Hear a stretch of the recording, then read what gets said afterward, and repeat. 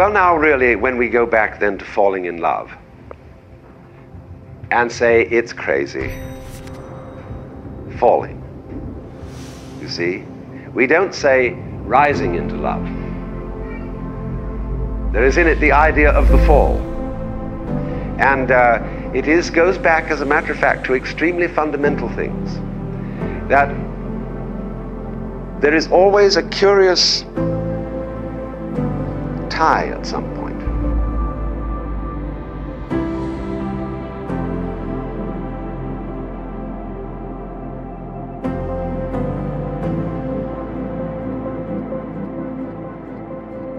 Given yourself up. But this is the most powerful thing that can be done. Surrender. See? And love is an act of surrender to another person. Total abandonment.